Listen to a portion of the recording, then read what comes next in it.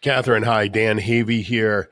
Uh, I saw your question in the ClickFunnels group today, and I know James a little bit, so I figured I'd jump on here and help you guys out if you haven't gotten this. The guys in the group actually had the right answer, and I'll show you why that is as you pull your screen down, what I did is I just adjusted the color so that the background color of the entire site was this bluish color.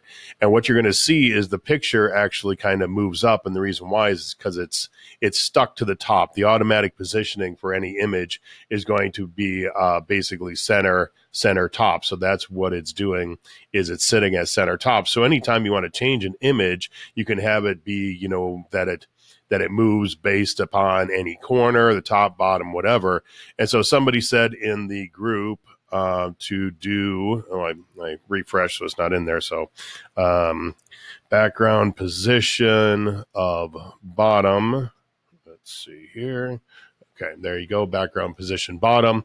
And now what you're going to see is as I move it, now the top turns blue because the picture is a specific size. And of course, then you're going to have extra background coming in on the top. So as long as the background of the image and the background of the site are the same, then this should be just fine just to go with that little simple fix.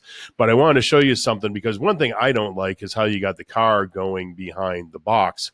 And so a while back, I built a uh, web everything is 100% parallax on the site. And you can see here if you grab a hold of the edge you're going to see that the image stays completely centered and that the text box of course will change based upon the size but the text box stays completely centered as well. And if you come down to the bottom here you're going to see as the image goes up it actually just takes off part of the image top and bottom again keeping the image perfectly centered. And then you can scroll down the page. And again, like I said, this is a 100% parallax site. I was just uh, playing around a little bit of design one day.